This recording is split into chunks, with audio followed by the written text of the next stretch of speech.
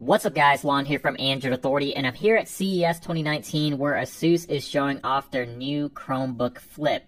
This is the long awaited refresh to the original Chromebook Flip, which was a pretty significant amount of changes. The whole entire chassis from top to bottom is made of aluminum, which not only looks really nice, but feels really high quality, and it's got a brushed finish on it to help hide fingerprints. It also comes with a pretty decent port selection. You have two USB Type-C ports, one on either side, a USB-A, a micro SD card slot, and a headphone jack.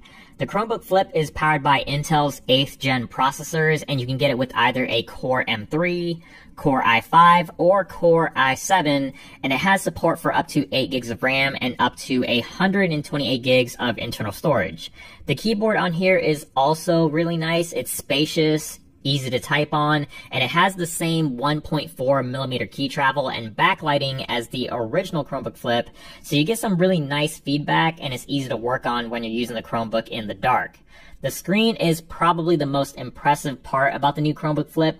It's a 14 inch IPS panel inside of a 13 inch chassis. Asus calls it a nano edge display because it has an 87% screen to body ratio, and the bezels are only 5 millimeters thick, which is pretty impressive, and that's the secret as to how they were able to fit a larger screen into a smaller body.